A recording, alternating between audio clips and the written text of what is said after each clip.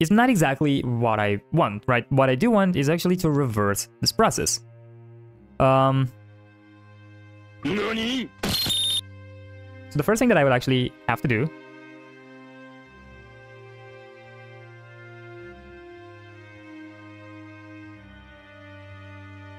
Hello everyone to a new video. Uh, I'm sorry I did not post yesterday. Actually, I did film to post, but at the end I did realize while watching what I did film, I was absolutely not coherent. Oh yeah, yeah, I'm, I'm happy for that, but I, I, I seen some of these documentaries, I ain't feeling none of that. Hey, the game government ain't no, no getting no one in the sample, no give my 3D. I have no idea what the fuck you're saying right now. This is actually what I created uh, while filming that, and I hope you do like it because we will create something pretty similar. It's actually something I still wanted to do, but you know, on my own, and that is a fire extinguisher. Uh, this is an oxygen tank, but uh, basically uh, what I did is mounted this oxygen tank on our robot. I will explain uh, in just a bit what's the process that I use because I did a little more uh, stuff. Let me just get this right here. All right, and now that I can hear you. Uh, so yeah, I did try to explain you guys how to texture that because that's what we're actually going to do in these next few videos. I think the next maybe three, four videos are gonna be only about about uh, texturing and how we can uh, do it, different methods, and also how to improve them. Because I think that's the thing. Everyone can really texture, but you know it's a lot about actually improving those set textures. Uh, so um, hopefully in this video I'll be much more coherent and actually I will not stretch myself more than I actually can, right? Okay, so it did work. Didn't really work as I hoped. Um, and hopefully, if you do appreciate that, you can always give a like to this video to let me know you appreciate it, or leave a comment that you will say, yeah, I do appreciate that, or hey, you can actually try to do that. And also, if you are not subscribed, you can try subscribing, and if you are subscribed, you can always share this video for others to see it and to subscribe. See how the circle of life keeps going around? Yeah, we have to do that. So, uh, with this being said, let's actually go into the video and uh, talk about what we will do. Um, first things first, uh, let me tell you what I did uh, so far to the robot because I did do some more things that I didn't uh, show. I'm just gonna explain them pretty fast, right? So I did this cut here for like uh, just a little some more details that are actually looking pretty cool and it will make a pretty nice, you know, sort of effect on our robot the way you can actually create it, let me take this as um as an example. Uh, this is just the cube, right? You take the cube, scale it, position it wherever you need it. All you gotta do afterwards is for this cube, give it a solidify modifier and maybe a bevel if you want. Uh, that's uh, of course only up to you. So you know you can just come here, uh, bevel this, and if you do bevel this, this will affect the way it will cut your object. You know, you can put like two millimeters here so that it's not, you know, such a big uh, difference. Something like this, shaded smooth. And then uh, if you actually go back to bounds, you will see that now you have rounded corners instead of square corners. It's a little bit of an effect that does help sometimes. I don't think it's that important and it does add geometry, so you have to, you know, always think about these two things. I don't think it's that important, which is why I won't bevel this kind of stuff, but you know, just for you to know.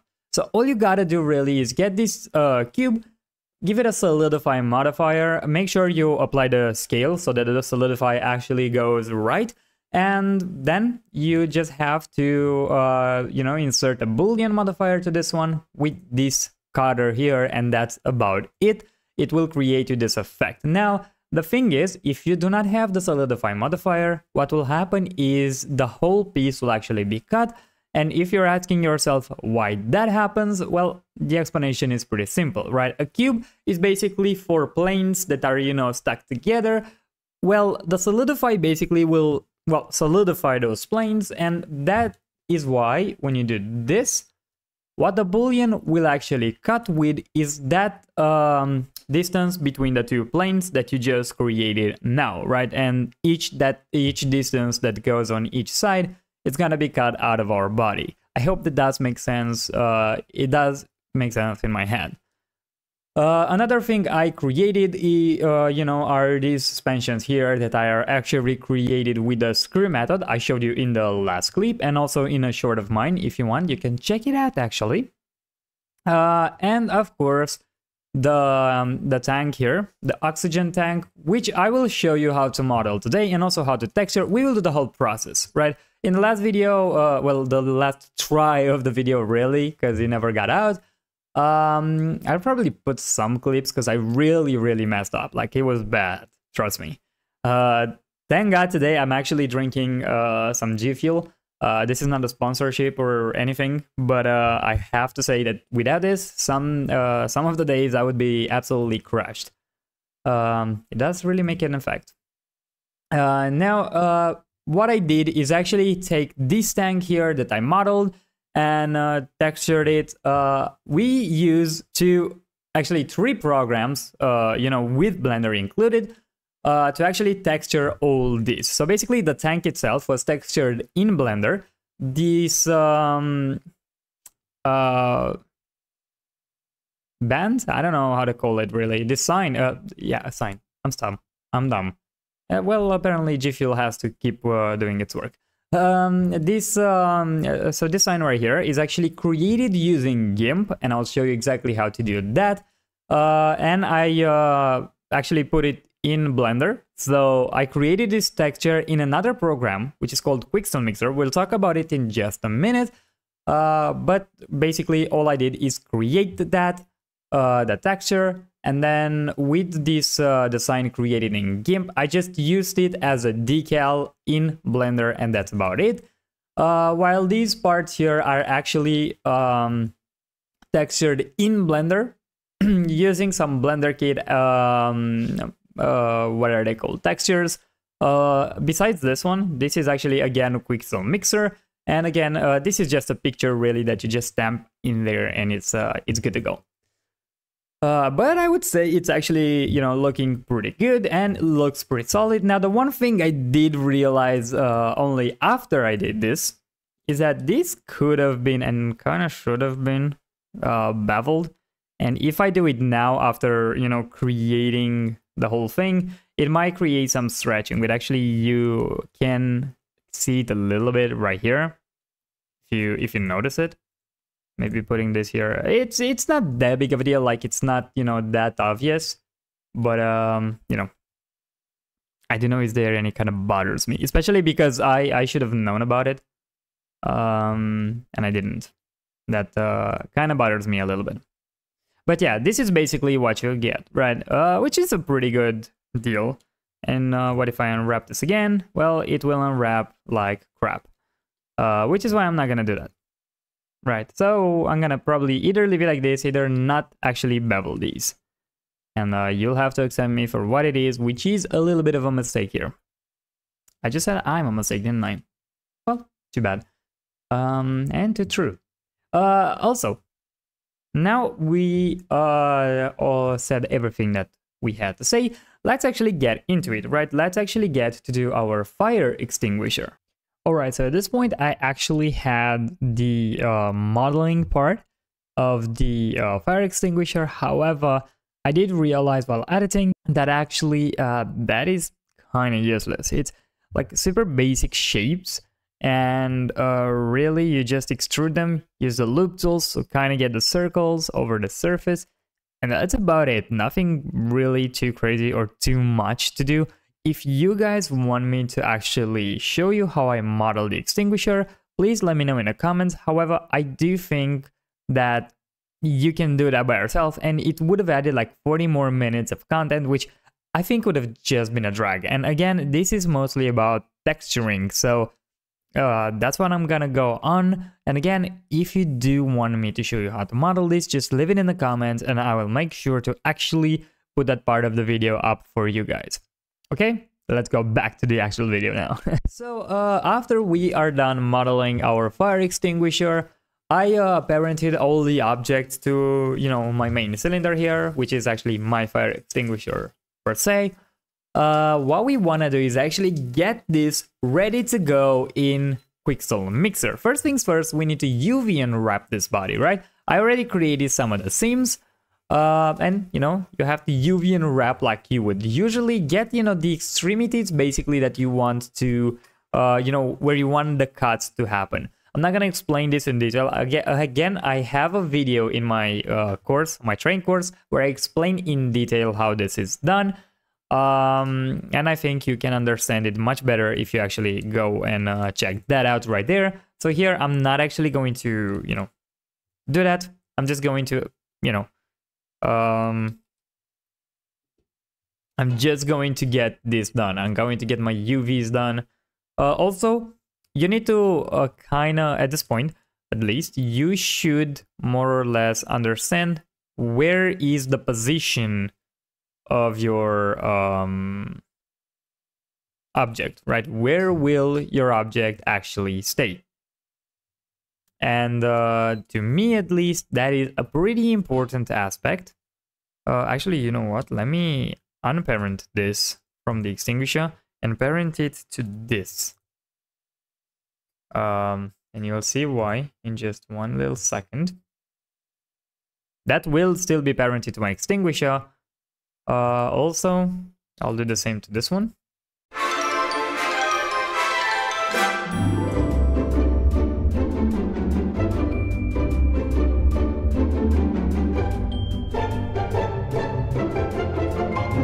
Okay, so uh, now I have everything parented. So everything up here is parented actually to my valve here, and the valve itself is parented to the extinguisher. The reason for it is because I want these to actually look almost perfectly on the x-axis. So to do that, I had to move this a little bit. Okay, this actually seems to be uh, pretty good actually more or less. Let me so R RZ and try to move this so that this is actually saying on this line right here. So this is why the grid also from Blender is so so good, so useful because you can actually check out what you're doing. Okay, this actually should be pretty fine. Uh, okay, and with this being done, um, now you have to decide where this object will actually stay on your scene because you will want to create this seam that will be basically on the length of your whole body. Um, you will want to put it on the side that it's actually not gonna be seen by your uh, you know viewers. And basically for us, it's gonna be this part right here, right? So this or this should do pretty good. So mark this seam A and unwrap. To see the unwrap, uh, again, the detailing uh, of how to UV unwrap you can find it in my uh, course. However, these are a little, uh, a few details. So you only have to go uh, on the UV editor and what you gotta do is actually uh, come here to overlays and display stretch and see if there are any stretches uh, on our um, model. As you can see, the actual UV unwrapping is pretty good. How do you know that? If this blue, like dark blue, is here, that's fine right? If this light blue shows up, it's still okay, but it means it started to stretch. However, if, for example, let's say, uh, let me deactivate this. Uh, if I would take this uh, vertex right here and start to move it, and you'd see this kind of color, yeah, not good. That is gonna look horrible. So, you know, always try to avoid that, make more cuts, or, uh, you know, try to check again uh, and try to unwrap it better. Uh, also, another thing you can actually check uh, on how to do. And I think I already created one on, for this one. No, I didn't. Good. Okay, so let's... Um, the materials you saw are for the oxygen tank, the, you know, failed course, the failed, uh, sorry, uh, tutorial, basically. Uh, all right, so what you want to do is actually come here, create an image texture, press on new, call this UV test, make it, uh, in my opinion, you should make this 4 or 2K, it depends on you. I'm gonna make this 4K, deactivate the alpha, and here at generated type, you uh, will change it from blank to UV grid, and this is actually what you'll see. Connect this to the output, and now if we switch to material, this is what you will see. Um, again, I go in way more detail in my uh, train course, but basically this is kind of a good way of you to see how to how your mesh is doing. Because basically if you see these squares starting to stretch uh, it means there's an actual problem there right? And uh, we would not like that. Um, and for example here you can actually kind of see it right? You can probably see notice a little bit of stretching if we actually go all the way down here, right? Which means I should cut this a little more. However, because it's such a, a small area, I honestly don't think that would be necessary. Um, because that would mean to cut it somewhere like, uh, well, that annoys me a lot. Let me just um go to view, clip start, if it clips a lot for you, just go here to view, clip start, and that means you can actually get way closer to your object before it starts clipping. It's a pretty good uh, good way to, you know, help yourself out if it uh, that annoys you as well as it, you know, annoys me. Uh, so I can actually cut it there, but that would be um, uh, that would be a way to get rid of that stretching but I will also have to check for it, you know, not to actually ruin my object. So let me look at it again from the whole part. And uh, no, it seems to do pretty well, and I'm pretty sure the stretching is not gonna happen, at least not as much, that's for sure. So you know that light blue we saw? Yeah, it's pretty much gone. That's how you kind of can avoid stretching. You have to either find new cuts, either uh, try to, you know, cut it a little smarter. Okay, around here, there's nothing you can do. It's where you, you know, made your cut. This will happen, whatever you try. However, uh, with this being done, we are ready to actually get this to Quixel Mixer. Now, Quixel Mixer uh, first of all, to get it, you only have to go to Google uh, Google Quixel Mixer, press on the first tab you see, and this page will actually show up. Download this, install it, um, and if you've heard of uh, programs such as Substance Painter, which is the industry standard, and I think if there's a chance for you to hear of any texturing uh, program, that is one of it. Um, this is basically a similar thing. Now, yes, Blender can also do texturing in uh, itself. However, if you ask me, Quixel Mixer brings something to the table that Blender cannot really bring because Blender is uh, basically node based. So you kind of have to do all the nodes and, you know, uh, play around with them. However, here we're talking about layering. What layering means is just you get the texture, drag it, apply some masks and play around with it a little bit. You'll see in just a second what I'm talking about.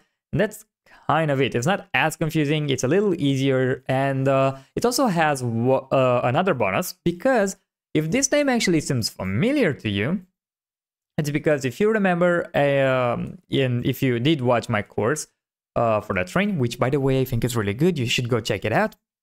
I do talk when we started texturing where you can get free textures, and Quixel Megascan is one of the best places to get them how, because uh, they have professional textures and they're free. Uh, Quixel Mixer is uh, now a company that was bought by Epic, and they do give a lot of stuff for free.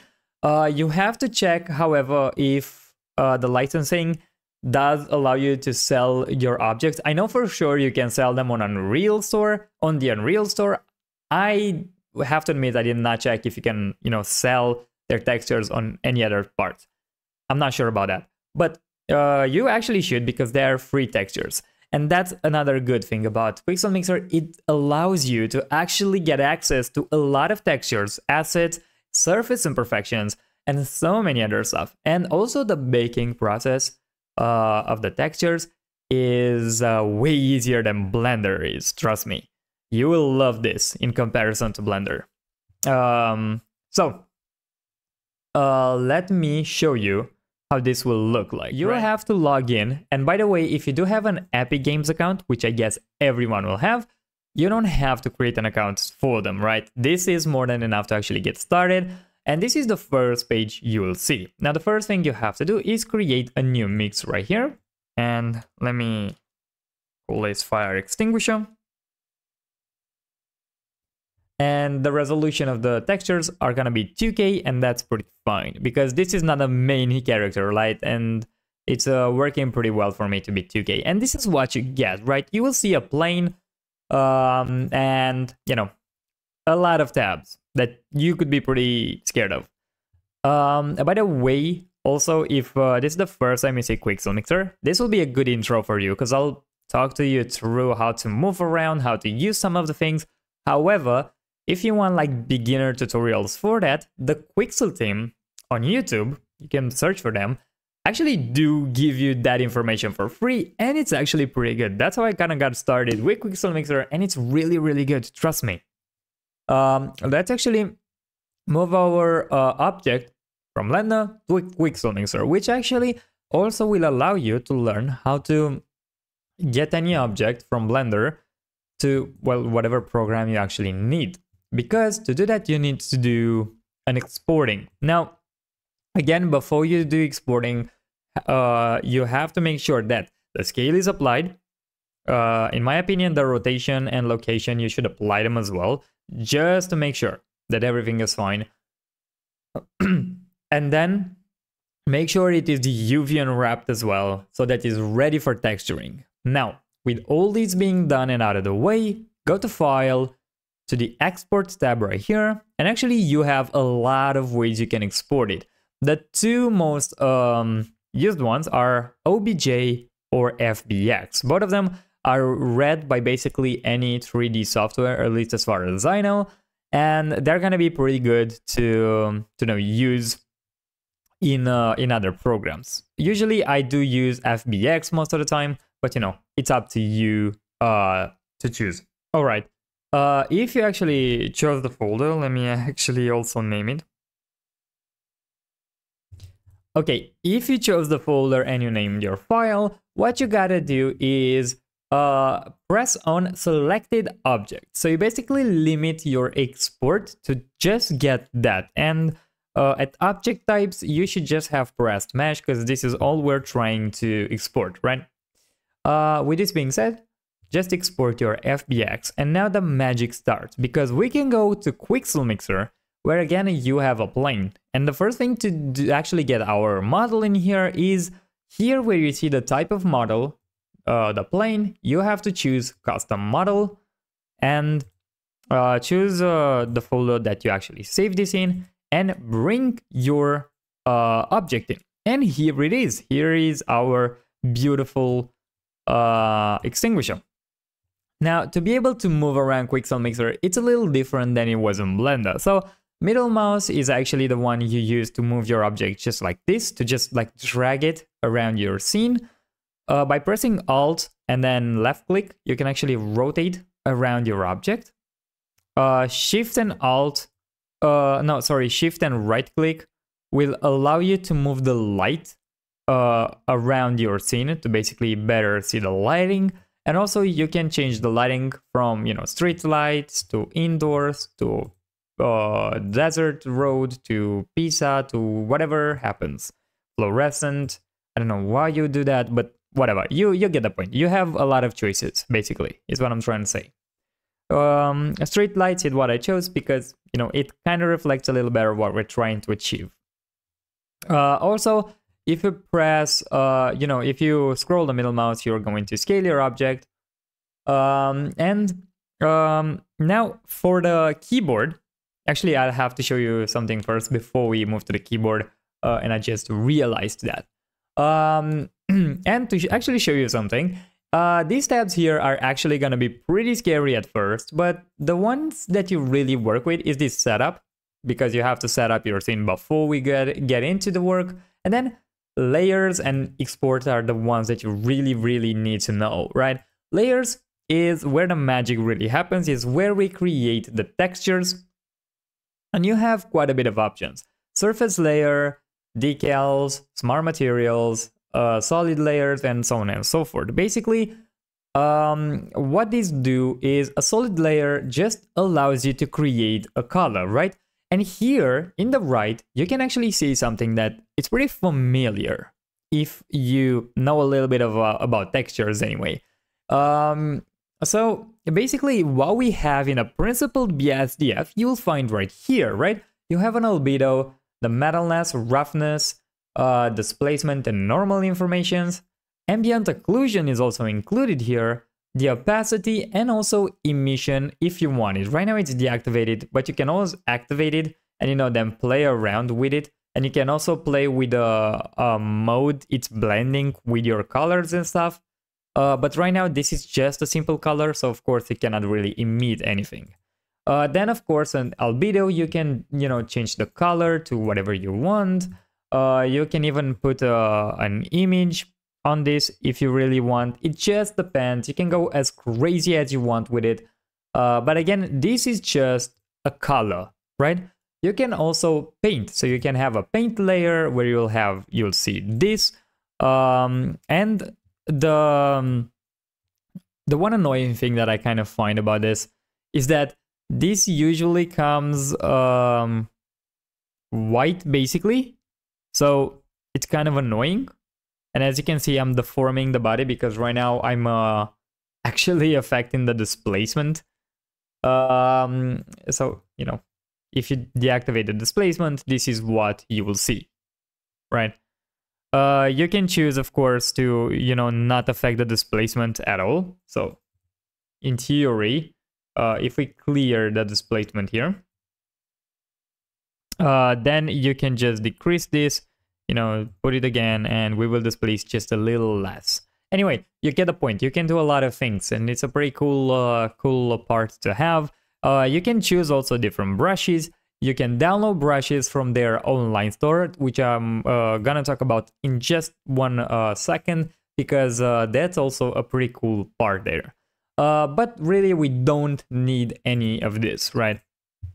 Um, because uh, what we have that we really, really will work with are gonna be the surface layers. if you want the smart layer, the smart materials, which you know, it's basically exactly what it says. It brings you a smart material, just like we have in Blender, you know, that we can create with a principled BSDF.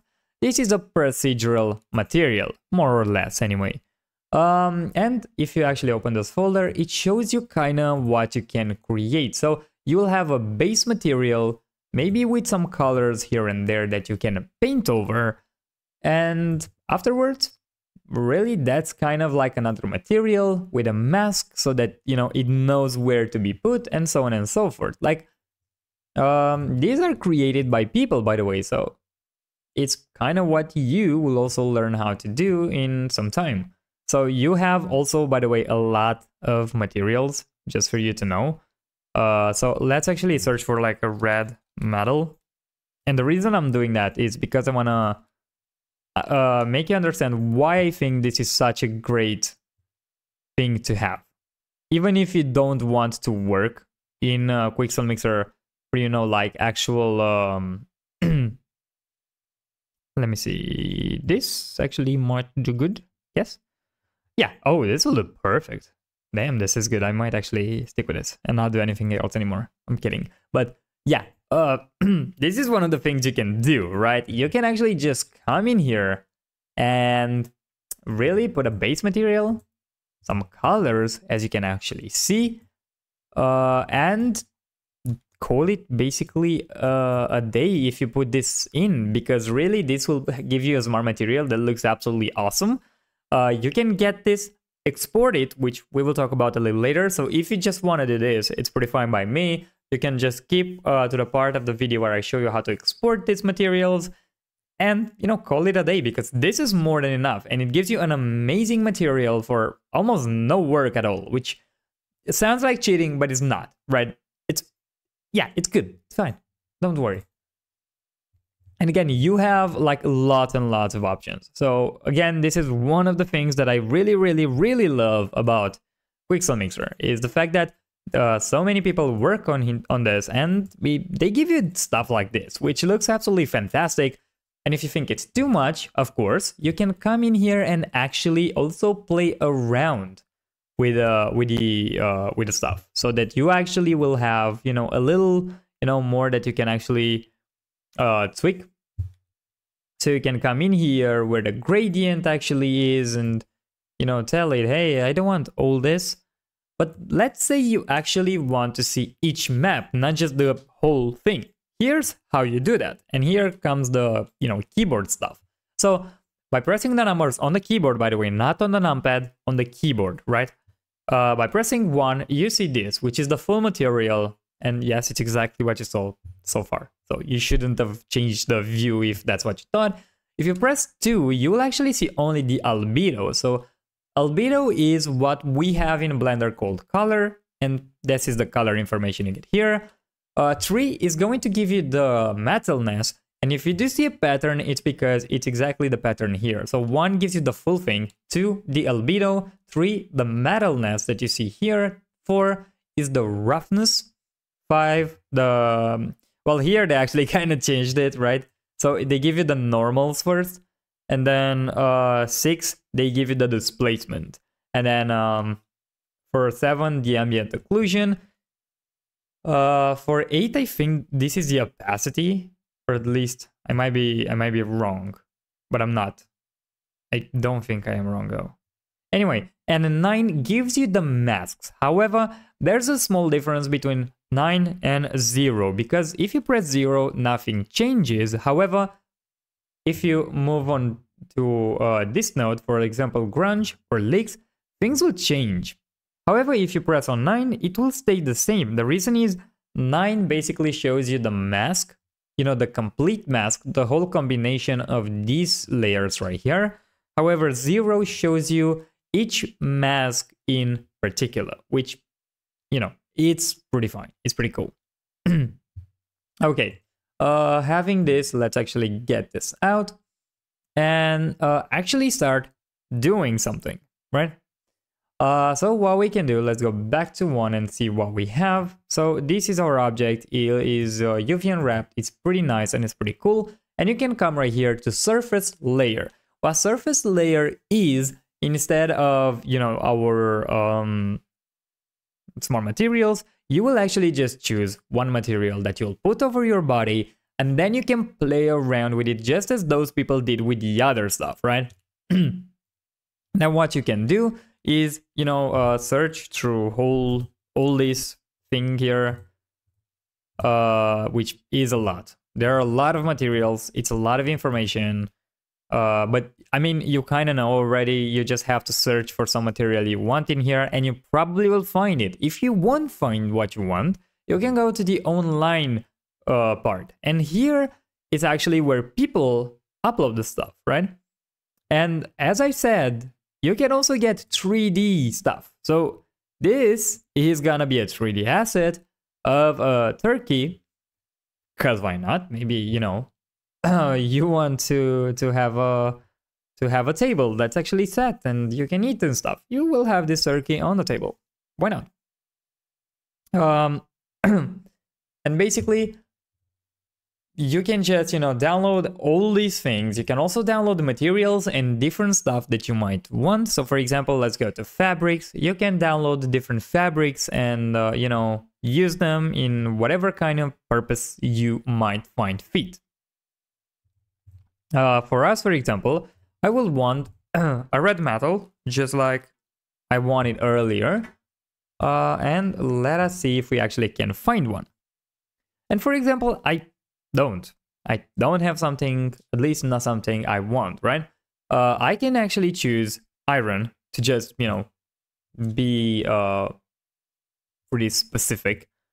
Um, and afterwards, I can actually go to the albedo and actually change the color to the albedo itself so that it's, uh, you know, fitting what I want. So, you know, again, just like in Blender, the difference is I don't have to go through the annoyance of, you know, adding a color ramp node and an RGB node and to mix those together. You just do this by layers. And that's, in my opinion, the big advantage and uh, why you might want to use this and why I do really think that this actually, you know, um, brings a whole lot to the table when it comes to actually, you know, choosing between Blender and and Quixel Mixer. When it comes to texturing, now of course, Blender has a lot of uh, attributes itself because you can do you can work way easier there, of course, because it already knows the object. And uh, also, if you got used to the node system, it kind of makes sense to use it because it's very powerful and you can create a lot of stuff with it. However, uh, there's also, of course, the add-ons, which in my opinion it's kind of hard a bit, especially when Blender Kit and Poliigon offers you so many textures already. Uh, but these, again, offers you so many stuff as well. And um, I mean, you should kind of take advantage of that.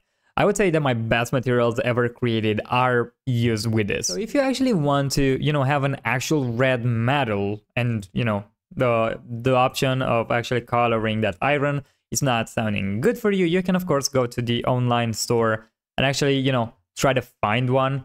Um actually for the first time it's uh, don't know, scratch painted metal sheet. Oh, this would work perfect you know what? I'm gonna download this as well just to make a comparison. But yeah, it looks really good.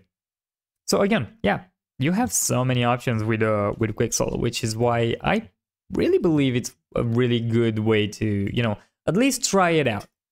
Uh, so for example, if I would put this, I could turn off the iron and just see the you know this metal here that is created, and it looks absolutely awesome. Okay, and again, you can just have that and almost call it a day. You don't necessarily have to do anything else, do you? Um, right. Now, of course, I can choose which one I like best, and just because I want to do almost everything myself, I'm gonna choose this iron right here, right? I'm sorry, I think it looks a little better, not gonna lie to you. Um, but let me actually make it a little... Um, okay, so the color, I think this is much better. A little darker. Um, kind of like this. Uh, now, what you want to do is actually put another material or what I like to do most of the time is put some imperfections in here. So let me actually delete this, uh, create some uh, imperfections. And now you can put, you know, whatever you find here that you like. Um, so let me actually put this, yeah, this old the uh, scratch metal, and this is how it's gonna look at first, right? Which is uh, almost looking like it messed up everything, right? Uh, again, this is just about how the blending happens between the two materials, right? Because basically, uh, what happens is this material and this material are trying to work together, but what uh, Quixel is telling um, the materials to do is just go over each other and it's fine. However, you can come to the albedo here and actually, instead of normal, press multiply and it already changed a lot because with this being done, what it's doing is basically just how we would mix uh, to, you know, colors together, this is basically the same thing, uh, mixing to, you know, materials together. And again, it's way easier when you do this. And you also can just, you know, play with the opacity of our uh, scratched painted metal. Also, you can, of course, play around with the colors of it because, you know, that also helps. Okay. Uh, of course, you can do the same process to almost every single other aspect. So the roughness is also normal. You can put it to multiply and something like this will happen, which almost really I don't like. And I never really liked when it happened. Um, of course, you can play like with a, a contrast of our surface imperfections and see if it helps us. Um, Let's see how it would look without, and this is with. So no, uh, having this to multiply, it's actually not helping us. Having it to add, it's gonna make it uh, too rough. So even if I'm decreasing the opacity, it's still not gonna be good enough. So absolutely not. Um, let me see where that is. Okay. Um, maybe overlay is actually gonna be the best choice here. And I think it is, yeah. So let me bump the pro the contrast. So you can actually see the difference here. So the contrast, you'll actually get a little more imperfections over our um over our object there. Right. Of course, you can also add a paint mask and actually paint the imperfections yourself. Uh, but I want to do this, you know, a little more, um, you know, natural. And I think this actually looks pretty good. I'm actually pretty pretty happy with the result so far. Uh, of course, you can also come in here, and this is the blend. This is the opacity of the blend. It's just like our factorial node in Blender. You can set this to whatever you want. To, you know, so if you put it to zero, it means only the iron is functioning. Um, so, uh, sorry, this was for the iron, I'm sorry. Uh, if you put this to one, it means both of them are now taken fully into consideration, right? And now here the blend is is blending this just half, kind of. So let's put this to full, of, co of course, because uh, again, I really like how it looks.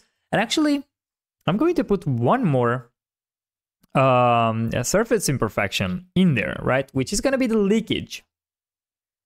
And uh, here's what we get. So again, we can actually take this out and the iron, and this is what we would get. But with the iron here, if you again set the albedo to multiply, this is what you actually get, which is actually pretty cool and pretty interesting if you ask me. Um, and also you can get the scratch paint and again, this will not be the greatest thing ever because it darkens our, um, you know, our color quite a bit. Now, of course, you can go to roughness and also set this to multiply or something, or to overlay rather, because that was the better version. But again, because of it, so this time I will put this to just 1.1 because I don't want the leakage to be that obvious. Uh, and the opacity of the albedo, I'm going to play around with it to just make it not as noticeable. Something like this I think works. And now you can see that the leakage is actually on the side, which I actually don't think I want. So what you can do is actually create with right clicking over this, you can put some masks over it. Of course, you can paint a mask over it, but we don't want to do that. We want to actually work procedurally on it. So add a mask stack. And what you can do is uh, up here at mask component, this basically is like texture mapping that we do in Blender, right? So you can actually get some noise, some patterns, uh, you know, normals, curvature. So curvature, for example, is, you know, one of the easier ones to explain. Let's go to nine. And uh, the way this works, right, is uh, just like the ambient occlusion or the geometry node, if you remember. Uh, again, if you don't, go to my train course where I actually use those because it's a really useful trick in Blender and in anything as well. And it basically reads where your um, where curves happen for your object, right? And you can play around with this, kind of about this. And the leakage would only be here because that's what we tell it to do. Put our leakage only on these areas. But I don't want to do that, right? This is not what I'm looking for. What I am looking for uh, is actually to have an, uh, where was it?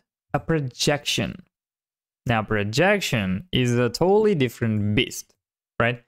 Because what happens with it, you can actually play around with this. You can actually set it to freeform, and then you can keep rotating and playing around uh, with your, uh, you know, material and stuff. But the problem is nothing really happens, and the reason is there's nothing here. It's projecting stuff, sure, but it's not really projecting anything because there's nothing to project.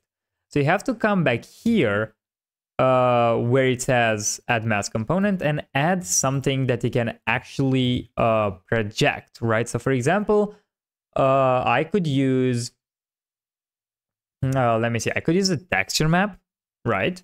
And here is where things get a little bit interesting because I can either uh, paint over this or I could uh, come in here and instead of that, uh, I could use maybe, I think a gradient texture would actually be the best. But instead of uh, a gradient from this pattern here, usually I use the um, position gradient because it gives you a little more um, room to play around with. So basically, where is white, the leakage happens. Wherever it's black, you know, the leakage is stopped basically. So let's actually kind of stop it. kind of stop it around here somewhere. And uh, this actually should be doing pretty good. And now we can actually come in here and get a projection. And now, uh, if I'm actually setting this uh, right, let's go back and make this freeform. Go back to one. And now you can actually see my texture is changing around. So this is rotating. And it's actually rotating pretty badly because uh, this of course is using our um, UVs. So it is good that it's doing that. It's absolutely wonderful, but there's a problem, uh, which is, well, if I'm moving this, it's gonna look extremely weird. And that is one of, if not the most, um, maybe problematic stuff that I would say it has, uh, you know, Quixel Mixer has. Because it's not working, again, like Blender. It's not like it knows your body. Even though in Blender also, if you use your UVs, you kind of get the exact same problem, right? After you do the UVs, you need to work with what you have right? Uh, but at least there you can actually rotate your textures. In this one, you can rotate it, but you actually rotate the entire stuff, right? You don't rotate just this uh, leakage material. You rotate the map itself, which is annoying. And this is why usually you would like, instead of your UVs, to actually paint this. But um, yeah, it's not gonna happen this time. So I can actually just delete this mask. And I think I have to go and uh, stick with this leakage. However, I can do something about it. Uh, so I shouldn't have deleted that. I should have let it there with the gradient still there because at least with the gradient, I'm actually getting a little bit more control over where the leakage happens and I can make it way more contrasty or actually let it to be a little more subtle. And I can actually leave it, you know, to go pretty far. But at least this way, you know, the bottom is actually not going to be that leakaged. And this part is actually going to be a little more, um, you know, used up, let's call it. Okay. And I would say this actually looks pretty fine, pretty nice. Uh, however, we can actually come in here and come to, let's see, soil. I think it's a better one. Uh, to actually get some uh, soil mud. And the reason we want to do this, let's actually get the soil mod. I don't know what was the difference between those two, but here's the deal. We will actually make this, have some dirt around itself. And how do we do that? Well, with another mask, of course. How you put this mask in? It's pretty simple, actually. And by the way, you can actually have this and if you press Alt and then left click and you have this little uh, arrow there, you can actually create this kind of effect, right? Which uh, means that it will uh, affect, like it works only for the under stuff that it has, right? If I put this for the leak, uh, let me disable this. If I do the same thing over this one, not a lot will change because, you know, you won't be able to see that many changes. Uh, but basically it will do, so actually let me take these two down. And this is how this would look, right? So this is the same thing, but this will actually works for the iron, basically. And also, of course, you can actually move the layering around, right? So as you can see, uh, let me also take this mask off because it might, uh, you know, be bad. So without doing this, as you can see, there's some small displacement happening here, and that, displacement is actually from from this here, from the mud. Um, and that is because it was affecting it from the iron. I don't know how to explain this uh, that well. So basically, this would work by itself right now, right? When you put it on the iron, it's working with the information that the iron gives it. However, it does keep its own texture, if it makes any sense. However, if you move it upwards here, with all the effects we have, the moment I put this in, it's uh, almost like um, these actually take over because this is only going to be used for the leakage stuff. I hope that actually made sense. It kind of made sense in my head. Uh, anyway, to get the soil to actually get where we want, because that's what we, we, we need, uh, we go here to the component again. And here where you see curvature selected, it's exactly the thing we were talking about a little uh, earlier. And actually, let me get a displacement down. We don't need displacement, we'll use just the normals. Remember uh, when we talked about textures, uh, the most important three things we need is uh, the color, the roughness, and the normals. Everything else is a nice addition, but not that important per se. Uh, okay, and now with this mask here, let's press 9 to actually see what we're doing. And uh, now I can actually just play around and, you know, see where dirt will have to be. And actually, let's say I like this, and I can go here, and this is what we get, right? We get dirt exactly where we told it to have. But let's say I don't want it up here, which is kind of true. I don't want it. I want it just down here. What I can do is, of course, add, again, the position gradient.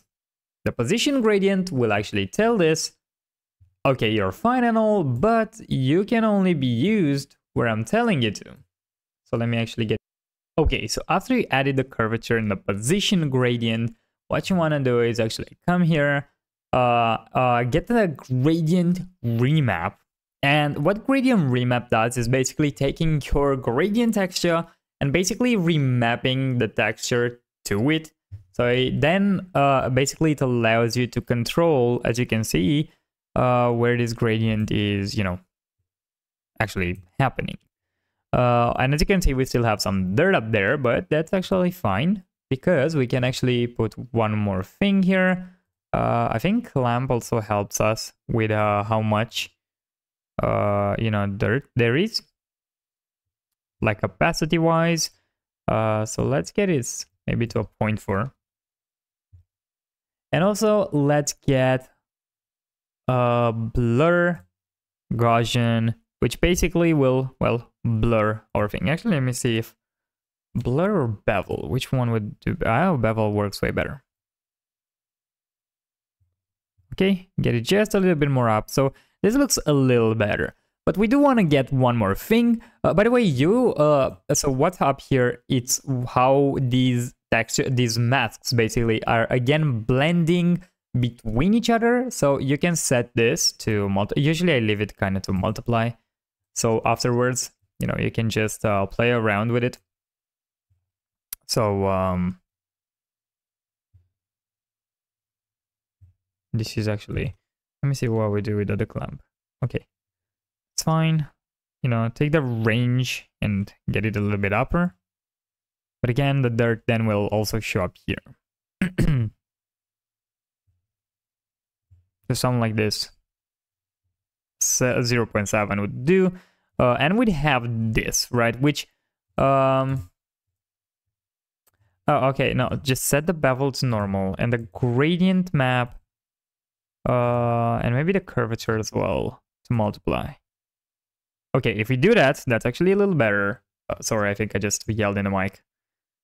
I'm really sorry. And actually, you can get this leveled a little stronger or a little weaker in uh, whatever case you want. Uh, so I'm actually gonna get this to, well, not overlaid, definitely. Um, not add, no, normal actually was looking a little better because it does gives you a little bit of uh, deformation there a little bit of dirt, but just so much that is not that noticeable. And you can also from uh, here, from mask, you can actually get one more thing, which is noise. Now, of course, uh, this is not gonna create, you know, such a good thing. Uh, we'll put it actually over everything else. Uh, and what we'll do, um, it's again just like Blender basically. The noise really works with, well, the frequency, it's how much it is. Octaves is like the detailing, if you remember. Usually I use it to like full lacunarity uh, is, well, exactly what kind of that's in Blender.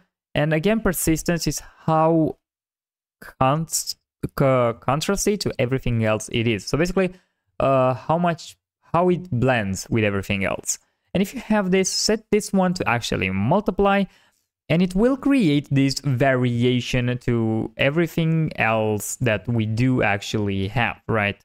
So we do get some, you know, pretty good detail, pretty good dirt here, but again, barely noticeable because that is exactly how we need it to be. And actually, again, you can go to persistence and make it very persistent, but I like it to let it a little bit washed out. Like it's, yeah, it's there, but it's, you know, just a little dusty, just a little uh, stuff.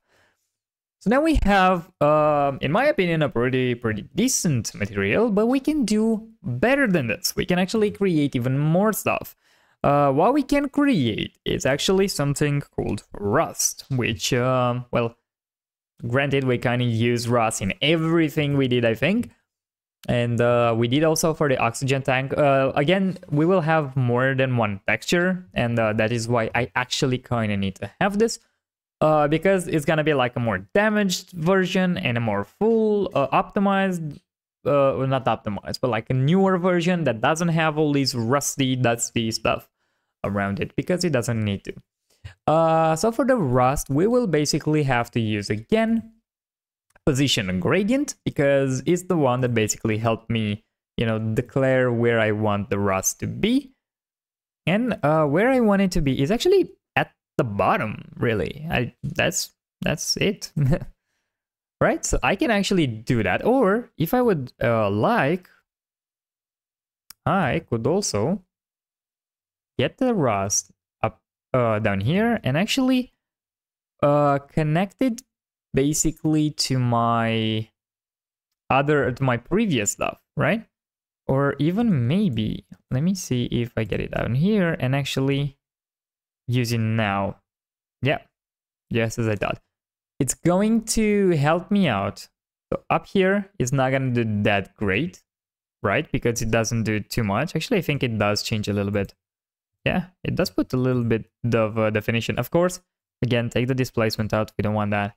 Uh, it does give us a little bit of, uh, you know, something to work with.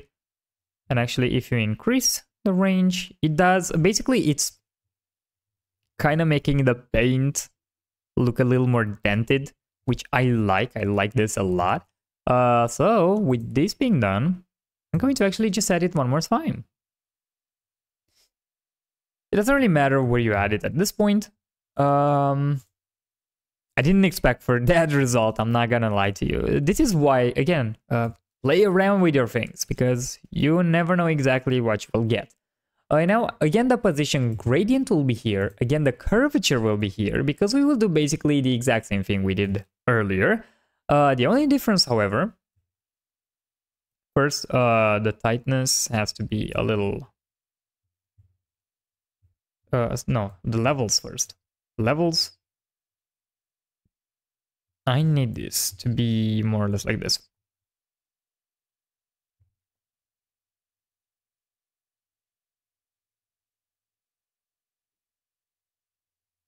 Now about tightness, hmm. Yeah, I'm gonna leave it to zero. Because again, I'm going to uh, make these two work together. So I'm gonna blend it with um, no multiply, sorry. Uh, oh wait, I'm on uh, I'm on zero, and I. So if I actually do put it with multiply, it's going to show me exactly what I need. And let's just increase the range so I only see this side. Okay, kind of like this should do a little better. And uh, this is kind of what I see, a little bit of rust around here and um, a lot of rust up here, which is not exactly what we're looking for, of course. Um, now, of course, we can actually get to the, to the position gradient and realize, you know what else would work? Another position gradient, of course. Uh, not, wait, sorry. I uh, got its, uh, its values, didn't I? Okay, so we came back and actually, apparently Quixel Mixer bugged for a second there. Uh, it didn't show me anything and it just stuck to rendering for some reason. I don't know if it's something I did, but um, yeah, pretty weird. Anyway, going back to what we did, what we were doing. Anyway, uh, so we want the uh, upper part to actually have, uh, you know, the gradient and the curvature. So basically, we need to create that. Um, let's actually level this kind of like this. Yeah, I still need to kind of see these imperfections in there, so I kind of want to come maybe around here, widen this a little bit. They should do. Yeah, they should do pretty good. Uh, and this, if we set it to multiply, of course, we can actually uh, you know, we will multiply it with what we have under it, which is going to be perfect for what you want. Um,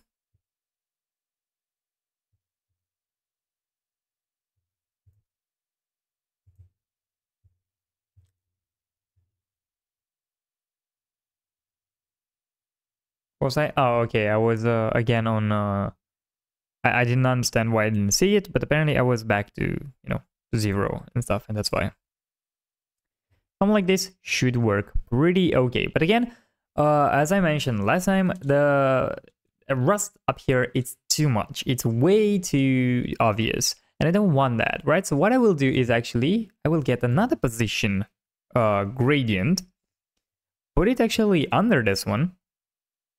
Let me get this down. And uh, let's see what we get, because uh, we actually want to change this a little bit. So what we want to do is actually invert this, right? And we want to get this basically kind of all the way up, but at the same time to uh, make sure that the upper portion here, which we have, is a little more toned down, if it makes any sense. I hope it does. So, you know, something maybe like this. Okay, so basically now when we get here, uh, by the way, this one should also be set maybe to multiply so that it takes in consideration what's also under itself.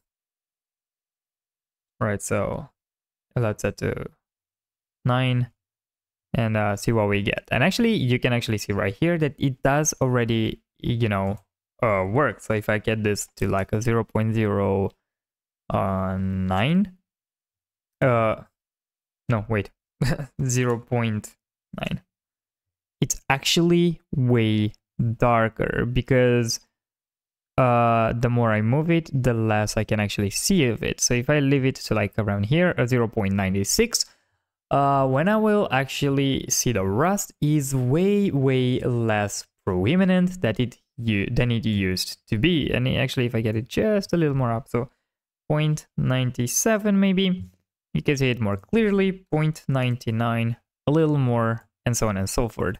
So I'm actually gonna leave it at like 0.98. It's kind of that in between I kind of want. And now we also have a little bit of rust around here, which again is something we like. Let me get this. So this one has to, you know, work for both of these which is working pretty nice. Uh, and now, of course, we want to get two more things, which first one is the blur with, uh, actually not a blur, but a bevel to have, you know, the same effect we had last time. And the width this time has to be way less because, so a 0 0.05 maybe, or 0 0.08. We need to move, you know, quite, um, 0 0.15 0.2 uh like very smoothly you know you don't want to go like 0.5 because 0.5 is going to get like crazy yeah, we will lose everything here really. So 0.001, you know, it's even more noticeable. Um, and actually, if you have this, you could probably also increase, um, you know, the preeminence a little more. So 0.99 can actually come back and you'll see it a little better, but also have it beveled. So it's um, a little less, a little less seen. Um, either that, either you actually, you know, can get a bevel out. Uh, and instead of using the bevel for this, I think the noise might do the work by itself. So the noise really has to usually work for exactly these kind of reasons. At least this is the way I'm using it, right? Which is uh, to work for this exact, you know, uh, moment where I needed to create that randomness uh, that people look for because randomness in stuff like this is pretty hard to find and uh, you know it's pretty cute when you see it uh, happening. So i actually do have it and it's actually pretty nice uh, looking which is nice. Uh, and i'm actually going to do a little more and get this rust one more time. And yes i promise this is the last time but you'll see why. I want to actually be able to paint a little bit over it. How to do that though because again, if you actually, so you can come in here and add a paint mask, but again, everything is white. So it basically starts with um, everything rusty and then you will take everything out to not be rusty anymore. But that is not what we want. Uh, also, let's turn off the displacement for this and um, for this until if it had it, don't have the displacement because it's going to destroy our mesh because uh, it's not that detailed and that's why. Uh, good. So with this, what we want to do is actually let me clear the mask. What I want to do is actually add also a mask stack. This mask stack will actually just have a texture map. Now, why is this cool? It's uh, a very simple reasoning. If you go to the paintbrush now, everything is black. And actually, if you paint over, uh, well, I chose a really bad example, but if you paint over and also make sure that the color is at white, yes, it was not. Yeah, of course, you can also set it to gray to be like a little bit in between. But what I'm trying to say is now this is actually working and you can actually use this to, you know, get your coloring in. And also, if you're wondering, you can actually get brushes in from around here. So you can also add brushes that you want. Also, uh, I was pretty sure that, you can actually have brushes uh, downloaded from uh, Blender, uh, from Blender, from um, uh, Quixel Mixer itself. So again, another reason this program is such a cool program because it gives you, it offers you basically anything you would need to be able to texture professionally, by the way. Uh, and yes, uh, a lot of people do use it professionally to texture. Um, let me see. Rust brush, does that exist? It does. How about that? Uh, let me get, actually, let me get both of them. You know what? not like paying for them. So uh, I might just as well use this. Um, okay, so go back to viewport after you downloaded this. Something's going on on my throat. What the hell?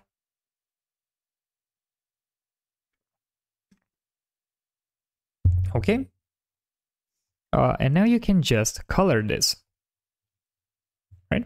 And you can just add these small details in, around and, well, uh, just have uh, fun doing so.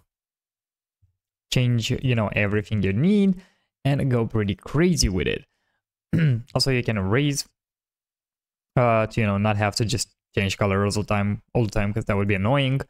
Uh, I do suggest you to, you know, change also the value so it looks more washed out the more it goes.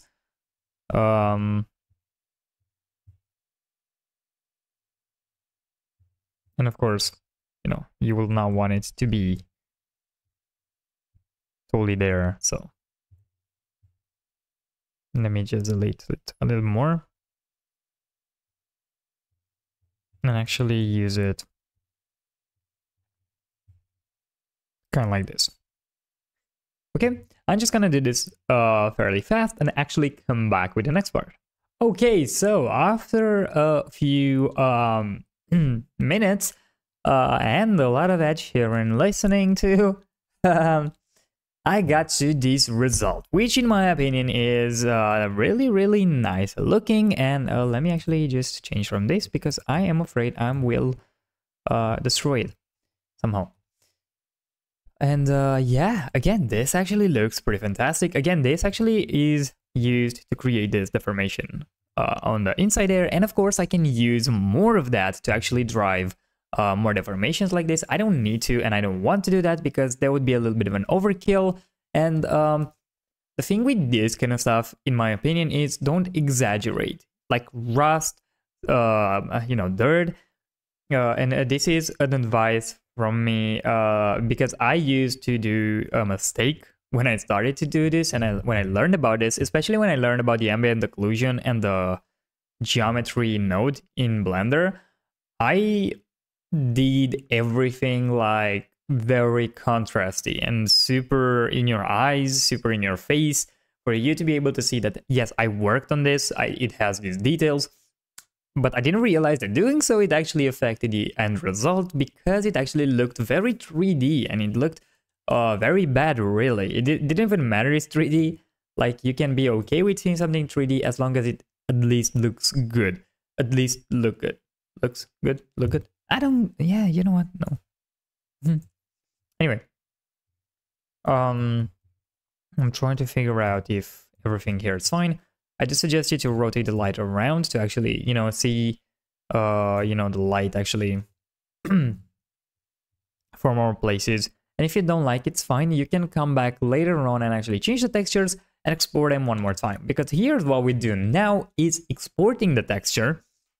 And uh, the way you do this, you, well, get the export, uh, choose the folder. Uh, and after you actually chose the folder, uh, you can unsub the create subfolder if you already have a folder. Now, if you don't, uh, it doesn't really matter, but you know, um, it's just it's creating another folder usually, and it's kind of annoying. Uh, what you want to get out of this one, again, we don't have displacement because we deactivated them all. Uh, ambient occlusion, you can have it. I don't usually get it. Metalness, again, uh, you can check out at your bodies but usually our metalness is, well, nothing. We have no information from it, but that's, uh, and also you can check it by going to tree. There's nothing. There's literally nothing there. It's a lot of nothing burger. And um, by the way, this uh, talk is from Charlie. And if you don't know who Charlie is, search for Penguin Z Z0 on uh, on YouTube. It's pretty funny guy.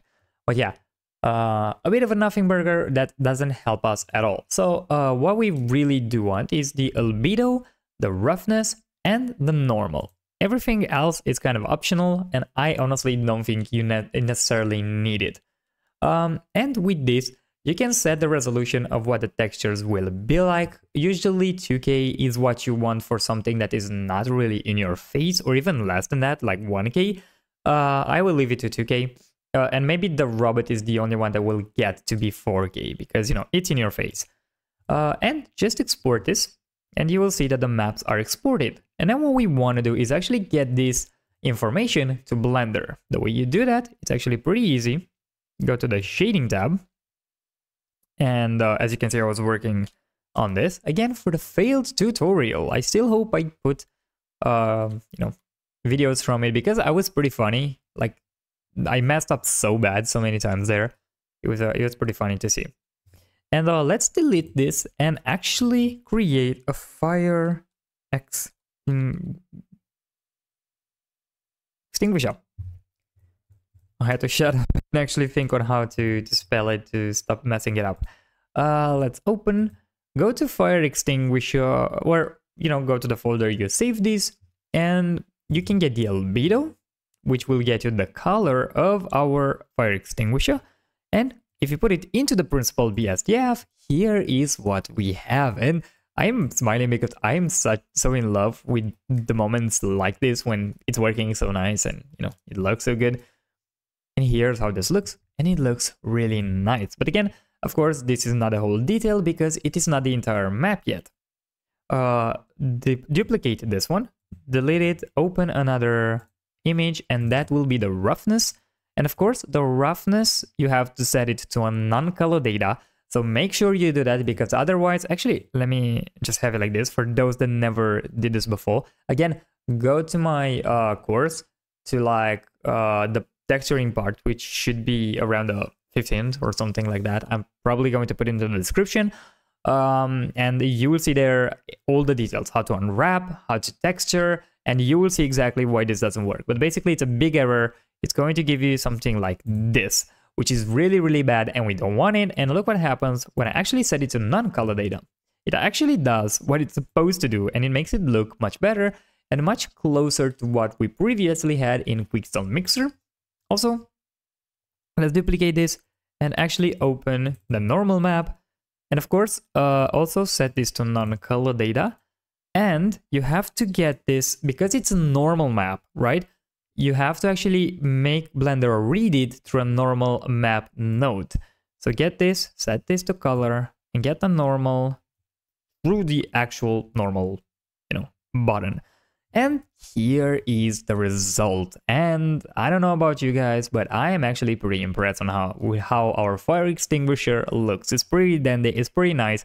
And the reason I said Quixel Mixer is even better than Blender when it comes to baking, it's because you now have basically these three images are your fire extinguishers um, textures.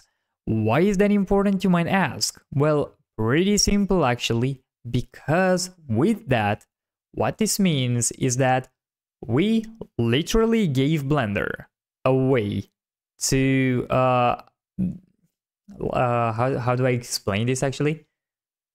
Well, we gave Blender a way to um, read the material just with three images. And why is that good? We don't have to bake this anymore. We don't have to bake it again in Blender because we already have the textures separated, separated. And basically you can get this.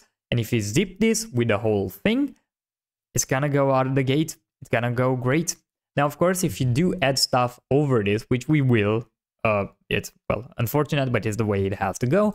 Um, that means you will have to actually, you know, keep working with it a little bit and bake it again. But what we will do is now actually create um, a, a sign, right? So, you know, all those fire extinguishers, actually, let me get back to the reference for a second, have these kind of signs on them that actually say, hey, I'm a fire extinguisher, you know, you can use me for this, this, this, and that. Uh, you know, something like this. This is in Romanian, by the way. It's my native language. You might not understand it, uh, but actually, wait, sign fire so yeah, you might uh, see something like this, you know, over it. That hey, pull me, pull the pin, pull whatever, and you know, do stuff with it. Uh, so you would have all this, and mm, yeah, I mean, um, we want to create that as well because you know our fire extinguisher should also have something like that. Okay, so actually, after finding the um good enough label, we can actually take it in and play around with it in GIMP. Now, of course, you can use Photoshop for this if you if you have it. I will use GIMP because it's free and because, well, I kind of got used to it also. But mostly because it's free. I'm poor. What do you want me to do? Now, we have this and this is actually pretty fine. We can use this the way it is. But what I usually do with this kind of stuff is, um, well, of course, I'm actually uh, cropping it to fit my own selfish need, which is, of course, to use this label as a decal for my Blender uh, 3D asset. And I can just select this, then go to selection, invert the selection. Before we delete this though, we have to go to layer, add transparency, add an alpha channel, so that we know that it, behind it is going to be transparent. It's very important to actually do that. and then just clear the background. And now we have only the label itself, which is good enough. Uh, let me uh, actually just export this. Uh, all right. Um, and I'm gonna say this good because it's gonna be the good version of it. Uh, and because it has an alpha channel, you need to save it as a PNG, by the way. So save it as a PNG, export it. And now because we already have the good version of it out there, uh, let's delete this selection because we need to affect it. We need to actually create a little bit of damage to this, right? Uh, the first thing that I will do is actually select this uh, outer band there. And actually, I'm going to make it a little dirtier. I'm going to get uh, to a very desaturated brown color, brownish color. It's a little lighter. Something maybe around there. And go to edit and fill this with foreground color, which will fill this with this exact color that I just showed you. Um, so that it makes it look way dirtier and to actually make me be able to, you know, uh, sprinkle a little bit of, um, you know, like dirt and stuff like that in here. And actually we can also, of course, uh, paint over this. So you can, you know, get a brush and actually using, making use of our opacity here, uh, we could just create dirt, which is something I uh, did do for the other object as well. Uh, actually, this part, I didn't show it in the last tutorial, so you are privileged. You actually get way more than you would have gotten uh, if I wouldn't have made that mistake the other days. uh, let me actually increase the opacity, maybe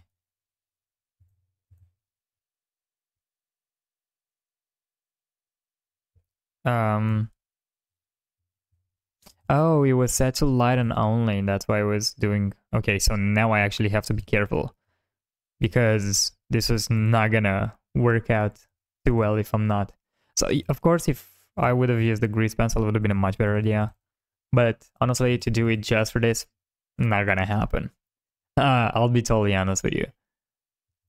Um, too much work for just throwing a little bit of dirt you know, on this. And again, you know, you should vary the size, vary the angle also, in my opinion, should, you know, create a little bit of a more interesting pattern if you want. Do something like this also if you want it. Again, just make it dirty, just make it look pretty weird. And again, uh, actually I'm gonna take that out, don't exaggerate. Because, you know, it's much better if you don't. And now another thing we will do is actually to have it, you know, actually uh, being a little bit ripped apart by time, right? What you want to do is again, select uh, the zones that you want to, you know, take out. And uh, let's say you want some like this out. And you can select this, go here and actually clear it. And this will actually be deleted out of your body, which is pretty cool. Where the hell did I leave this here though? So dumb. So again, select this, uh, go to edit, clear it out, and now we don't have it anymore. Right, we have uh, we have it out of it.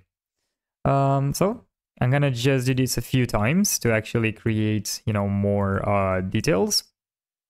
And after this, I'm actually coming back with the last part actually, uh, at least of this fire extinguisher, because we are going to completely uh, texture that.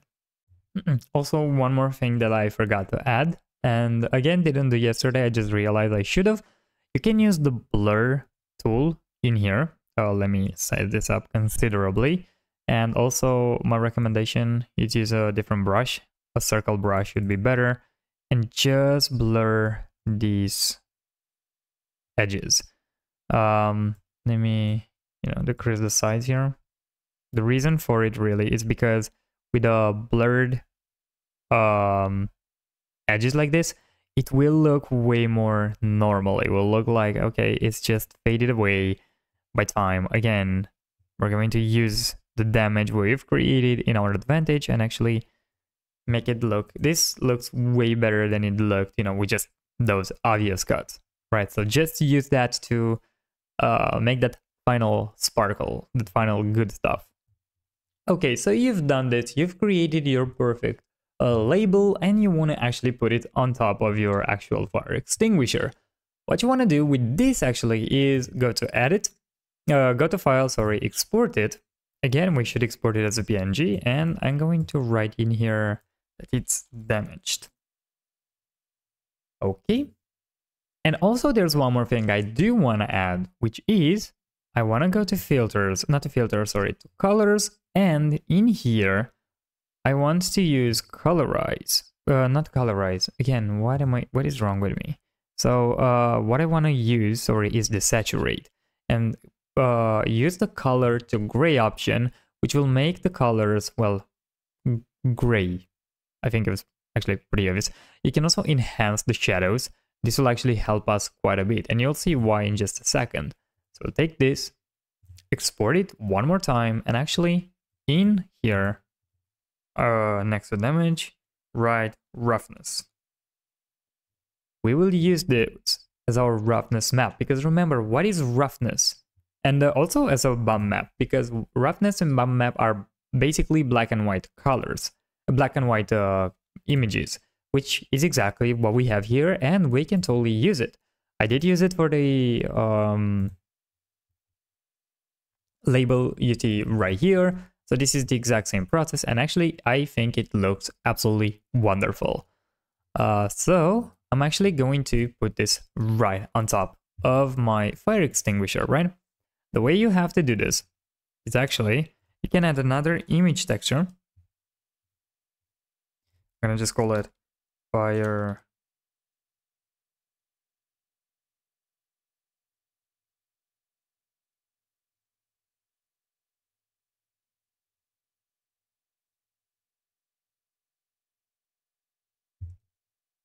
Okay, um, so I created it, make this 2K, uh, set it to blank, and now what we have to do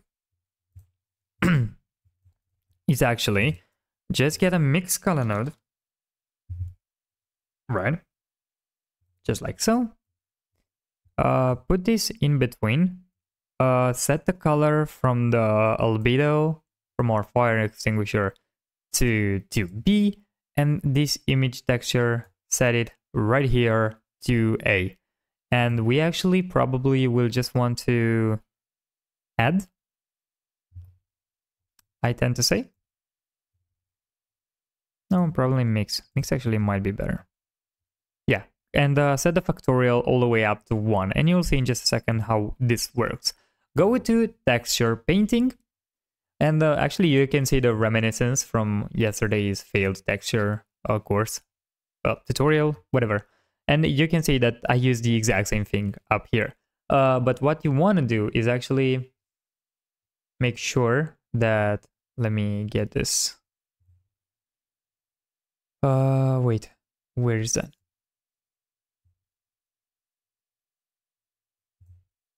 Uh, oh yeah, here. In object mode, make sure that the extinguisher is the one that's being chosen and set this to texture paint. Uh, make sure that the texture here is actually the texture you want. So instead of this image, what we want to do. So if you don't have, let me actually start from there. If you don't have any texture, which is the default thing, come to texture, press on new texture. And then with this, go to the texture tab down here and you will have image or movie and you can press on open, go to wherever you actually saved your texture. Okay, and here what you actually have to do is actually choose the texture you want, which is the extinctor damage texture. And now with this, uh, well, there are a few more things we have to do. First, in here, you have to set this at the mapping tab here, just uh, press on the arrow and instead of extension to be set by to repeat, you have to choose to have it extend. So we actually have only one version here.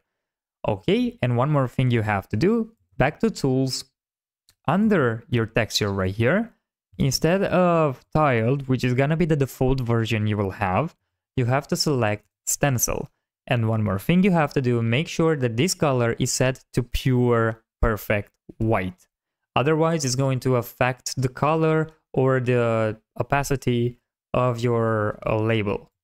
And now, uh, if you're here with stencil, uh, if you press, oh, let me actually reopen the screencast in this tab. So shift right click will allow you to actually scale this. Control right click allow you to rotate this. And uh, just right click allow you to move it around. So uh, these are the methods you're actually going to use to, you know, get your texture to wherever you want. Set the texture to where you want it to, to be. And then just paint over it with absolutely no regards for anything else.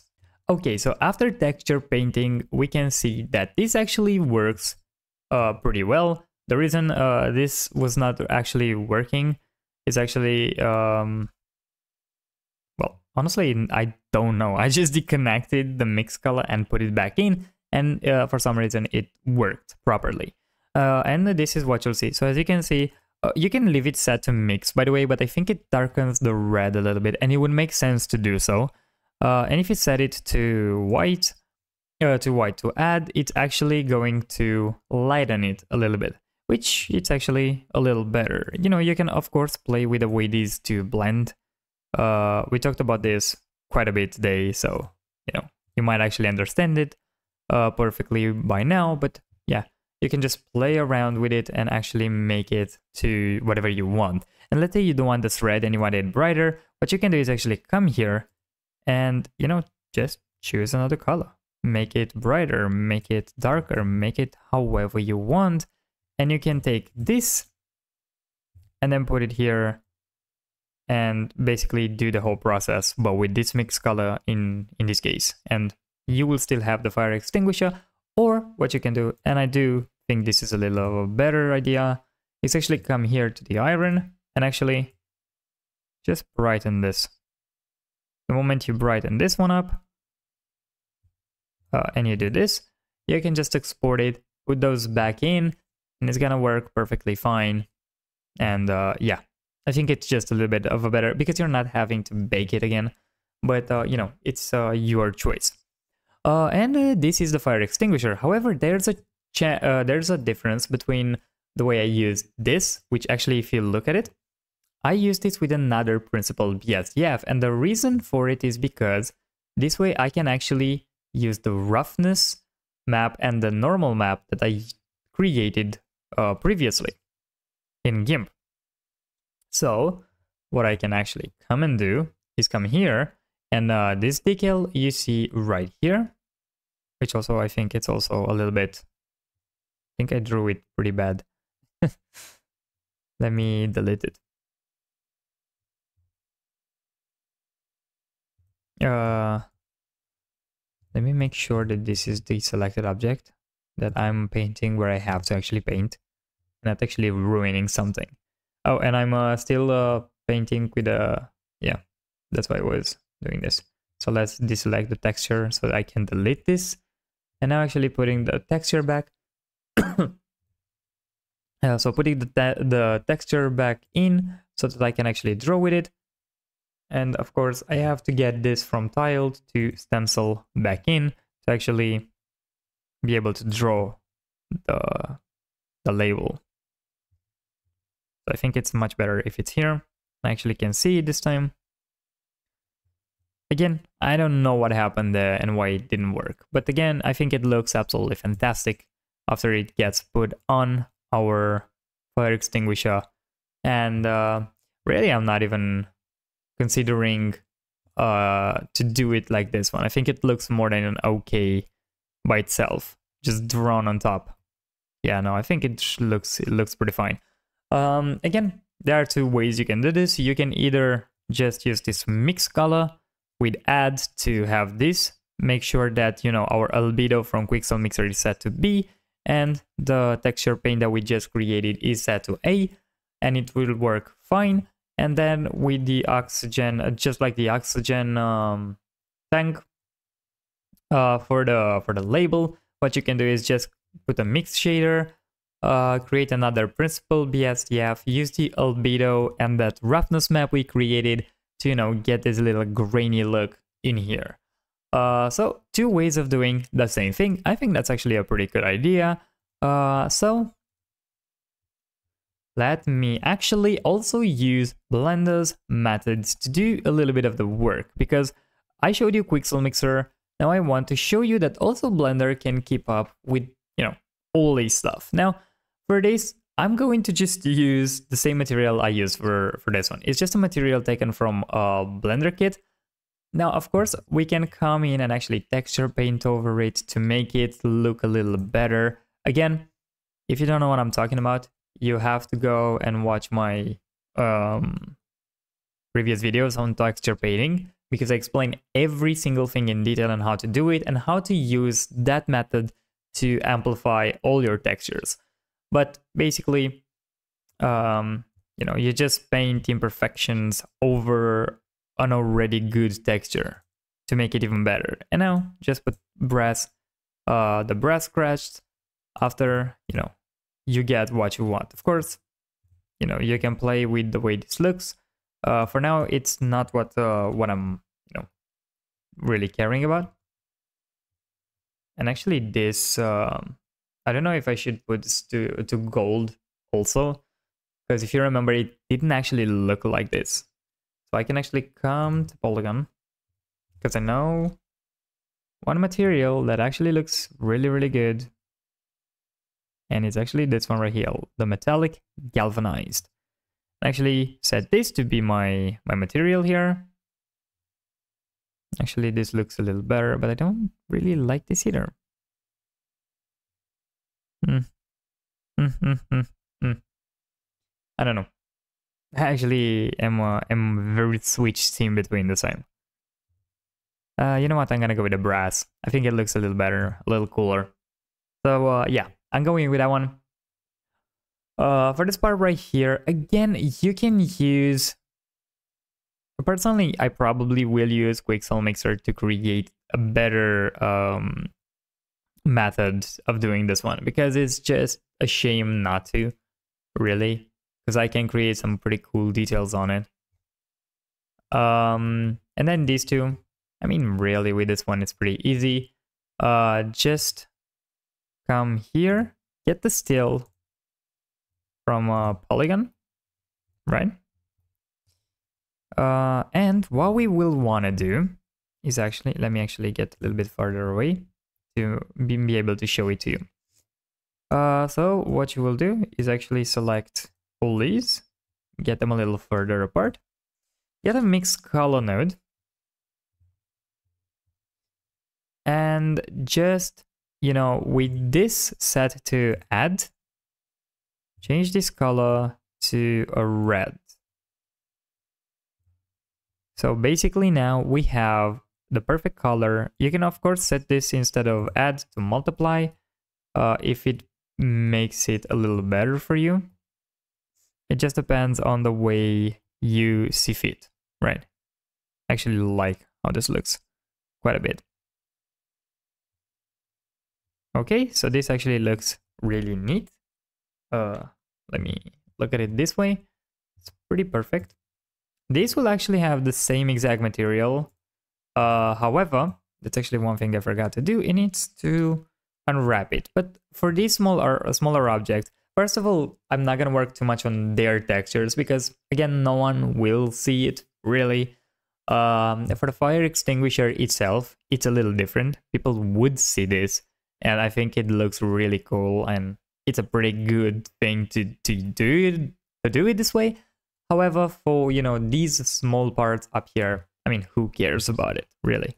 Of course, you can take it and actually put it in um, Quixel Mixer and do the whole process one more time.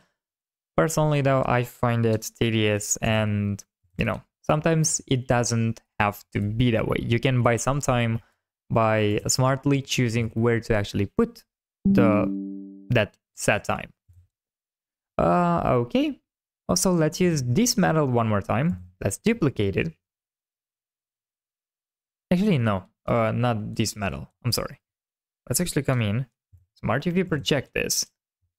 And actually, I'm gonna use the brass. Yeah, the brass is working much better. Uh, and I'm gonna use the metal galvanized for this one, which again, I have to uh, smart UV project to UV unwrap it rapidly. And here, oh, I thought this was um,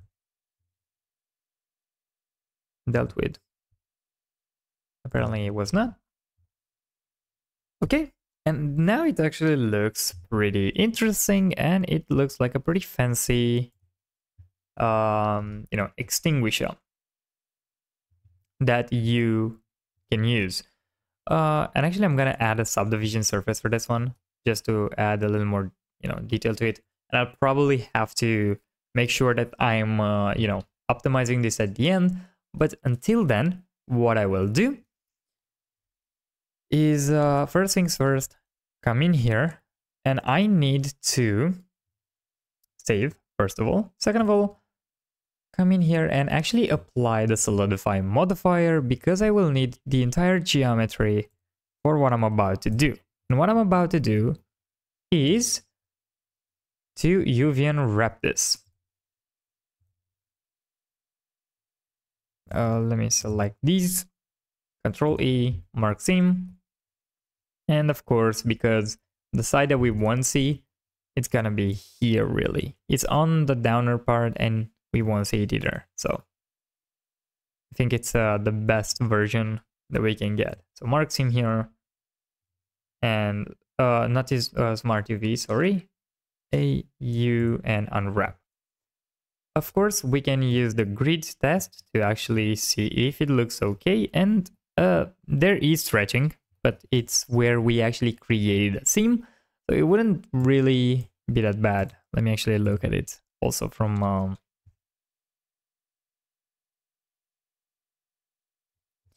our UV grid here. Let's see the stretch.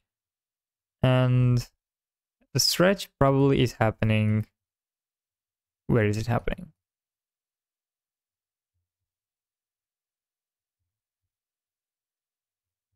really there's no stretch. so yeah, that will just look like that. Probably because of the you know, not enough geometry being added to it. Um, and yeah, these are the problems that come with very low poly things. But you know, it's not that big of a deal. Again, make sure the scale is applied, make sure the rotation and the location are applied as well, and um, I'm gonna redo this whole process, go back to Quixel Mixer, texture this, and come right back to you with the final product. So here is the end. So let me actually um, get this up in here, much closer. This is the end result for our uh, head right here, for our um, extinguisher. And I do think, personally at least, that this looks absolutely, well, uh, fantastic. I think both the extinguisher and the oxygen tank uh, look absolutely great. Actually, let me um, know in the comments which one do you think actually looks better. I'll be totally honest with you, I will go with the extinguisher. Just because I um, beveled it, first of all. Second of all, I think I worked way smarter, smarter in it. And uh, also just because of, I don't know, the materials. They, they just look better on this one than on this one. This is my personal opinion, but I think both of them really, really look good.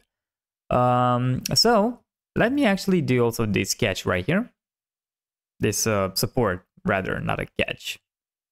Um, and by the way, because it's a separate body all it on its own, which actually can find it here.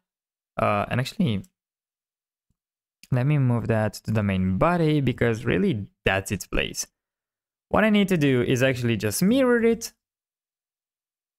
at the end here on the x-axis by the actual body, right? Because that's where it has to be. It will have an oxygen tank on one side and an extinguisher on the other side. Uh, so with this, now it's the time when I actually can move my, my body like this. But before I actually do that, let me actually get the origin to the geometry. So now I actually do move it and rotate this whenever wherever I want. Right, so uh, this will actually get closer somewhere around here. we will rotate it on the X. Uh, maybe something like this. And uh, the head here is actually intersecting. So what I want to do is actually get it a little bit upwards. Something like this. Then uh, Gen Y again. Press Y twice, by the way, because we changed the rotation on the X. So it needs to know how to put it. And actually, here's going to be a little bit of a difference because for the extinguisher, this uh, support doesn't particularly works. So what I will have to do, unfortunately, is get this, put it kind of here. So be more or less symmetrical with the other one. I just copied it, right? And what I want to do is change the shape of this one to actually uh, be more, uh, you know, more of what I need. Right, so I'm going to just actually have to leave this down, let this down like this. Um, also, let us select all these faces here. And actually, again, we will have to move this uh, like this. So it's just, you know, changing a little bit of positioning. Nothing too crazy, but just to fit way better with what we do. And this should, at least theoretically, work? Question mark. Um, it does seem to fit, so that's a good that's a good thing. However, do I have any howevers? I do have a little bit of an however, don't I? Is it intersecting? It's intersecting with my body, and I don't want that. So first, it's actually the angle. The angle is not actually the greatest. Uh, let me, you know, position it as well as I can to be parallel. Now, actually get it, so it has to be somewhere around here. This is where this support head has to be. So to do that, go three, you know, press three, and then uh, basically what we need to do is select all these vertices and then G, Y, Y, and bring all that up to here. And just to make it look a little less weird, let me actually just get this, you know, around here, maybe scale it a little more down. And now we can actually look, by the way, let's also apply the scale for it to be looking okay. And it actually looks pretty fine. And now we also have a difference between these two, which actually makes our model look even more interesting. Yes, uh, we will sacrifice a little bit of our, you know, uh, data because this will use more information, but uh, yeah, I think this looks absolutely fantastic. I still have to model a little bit of my uh, robot. I will want to add some more details, but uh, I'll do that in my free time. And basically, I will just do the texturing from here on out. So expect more videos such as this. I do hope and I do think that this was really, really useful. So again, changing uh, the workflow is very hard, first of all, right? To me personally, I still kind of get used to working on something else rather than Blender, but I totally do find it way more useful. And let's be honest, these textures look much better than what I could have gotten or we could have gotten out of just Blender in this amount of time. I'm not talking that we couldn't do this with Blender. Definitely we could have, but it's the problem of time, right? Quixel Mixer or Substance Painter are good because you can actually do it much faster. And you can actually just use the layering, which is much easier to use rather than the nodes, to create basically the same effect, if not even better, because of the textures. Again, we do have Blender Kit and Poliigon, thankfully, thanks to both of them really. But I mean, to be honest, this is still superior because, you know, it's it is. We find more textures, we find imperfections, you find brushes, you can find whatever you want, and at the end of the day, you get one of the best results out there. So, you know, I love it. I think it's amazing. And I think with this, we should actually go right to the outro. This is it for this video, guys. I am so sorry again for not being able to post yesterday this. Again, I tried, but it was really messed up and I didn't want to give you a bad product. So I hope this was better for you. I hope you actually are glad to, you know, have this. I think they look really well and I think they are actually super useful and super, you know, nice in general.